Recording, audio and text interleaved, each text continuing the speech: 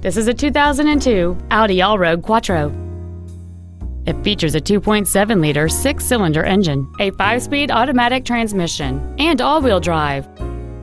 Features include dual power seats, air conditioning with automatic climate control, cruise control, a CD player, a leather-wrapped steering wheel, a passenger side vanity mirror, a security system, a traction control system, a rear window defroster, and folding rear seats.